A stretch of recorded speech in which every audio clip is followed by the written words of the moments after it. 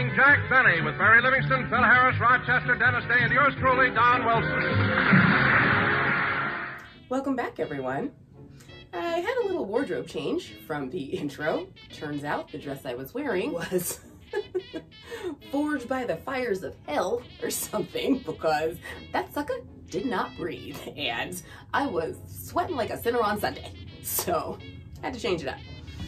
Anyway, happy that you enjoyed my episode on Roz and Hazel because old Hollywood and black history are literally my most favorite things to talk about, except old radio and maybe beauty.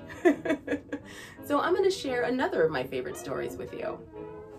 In today's episode, I'm going to be talking about two of my most favorite Hollywood comedians, Jack Benny and Eddie Rochester Anderson and how together they help to combat racial prejudice and fundamentally change the status quo of comedy. But first, I'm going to give you a little backstory on The Jack Benny Show, so you're going to get a little old time radio and television history today.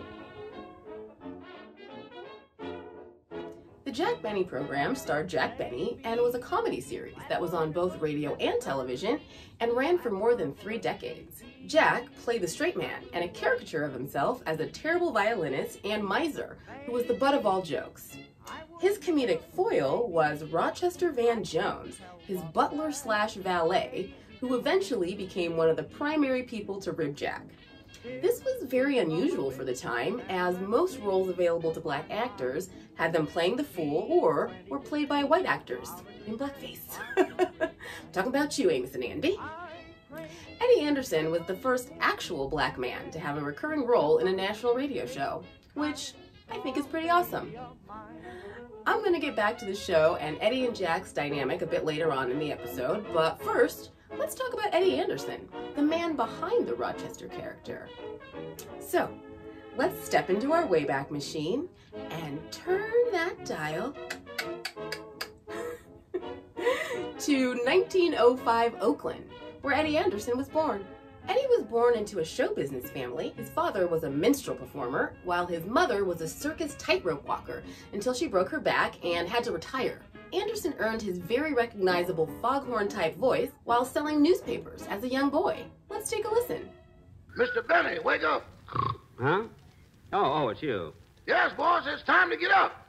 Come on, open your baby blue eyes and look at me. There. Now, here's your teeth. Smile at me. Eddie entered show business at the age of 14, primarily singing and dancing through the 1920s in a vaudeville show with his brother Cornelius.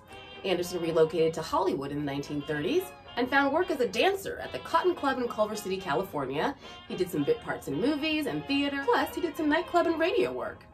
His first notable films during this time were Three Men on a Horse in 1935 and Showboat, which was done in 1936. So he had stage and film experience by 1937 when he first appeared on the Jack Benny program as a Pullman car porter. His first gig on the show was supposed to be a one-off, but his comic chemistry with Jack was evident and he was called back and eventually he received so much fan mail that he was brought in as a regular and became Rochester Van Jones, Jack's personal valet. The early shows with the Rochester character were more in line with how black domestic workers were portrayed at the time. The stereotyping of black characters was unfortunately standard practice, and white actors in blackface would reinforce stereotypes of laziness, illiteracy, drunkenness, gambling, and were often portrayed as incapable of holding any leadership type roles.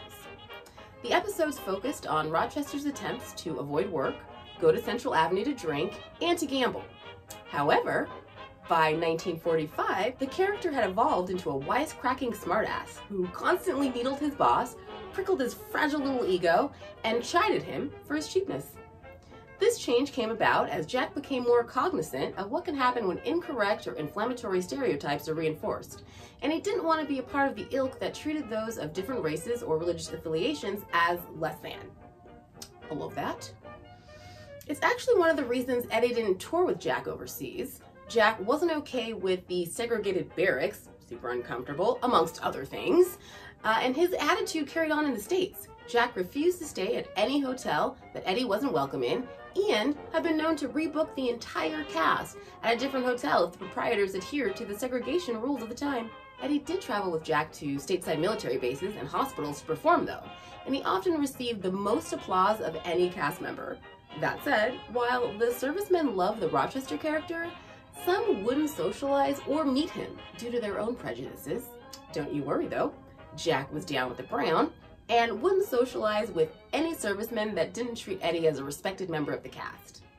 When the war was over, Jack and his writers did their darndest to remove all stereotypical aspects from the Rochester character, and by 1950, Jack made his writers guarantee that no racial jokes or references would be heard on his show. Jack also gave key guest star appearances to African American performers, such as my favorite, Louis Armstrong, and the Ink Spots, also great. Plus, he made a plethora of appeals on his show asking for listeners to reject racism. This was a huge deal for the time and fundamentally helped change the status quo for comedy.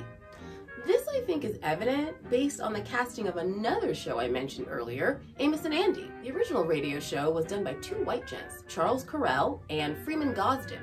But by the time the show was adapted to television in 1951, it cast actual black actors because no one wanted to see two white dudes in blackface playing their favorite characters. Anyway, back to Eddie. Becoming a regular cast member of the show afforded him a lot of opportunities not generally available to African Americans at the time. Not long after he became a regular on the show, Anderson opened up a nightclub in the Central Avenue section of Los Angeles.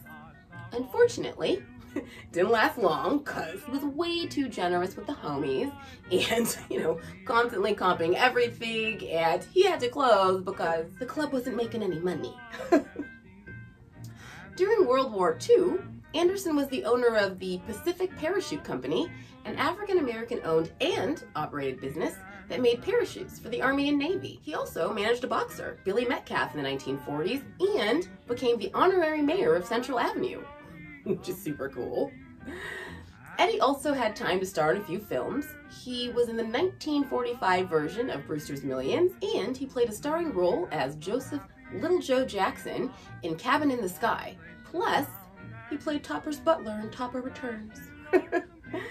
oh, also, he provided his voice for one of my favorite Warner Brothers cartoon shorts, and it's called The Mouse That Jack Built. It's a cartoon that portrays the rodent versions of the show's characters. It is great. I'll post a link to the short in the description for you. Anderson's last big feature film performance was as one of the taxi drivers in Stanley Kramer's 1963 comedy, It's a Mad, Mad, Mad, Mad World, and Jack Benny made a cameo appearance, but they didn't appear together.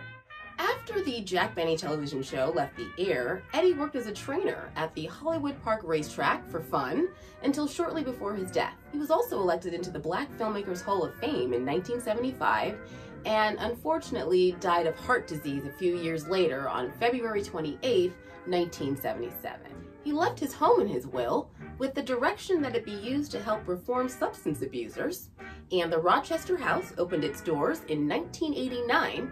It's dedicated in memory of Eddie Anderson and still open today. And there you go, kids. That's the story of Eddie Rochester Anderson and Jack Benny, and how together they were able to help shape the world of comedy for the better. As always, if you liked what you saw, please like and subscribe.